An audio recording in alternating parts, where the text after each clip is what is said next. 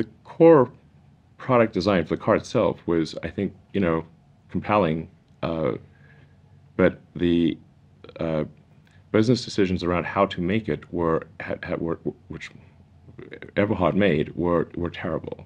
Um, among the many decisions that were insane were outsourcing battery production to a barbecue factory in, in, in Thailand. Oh.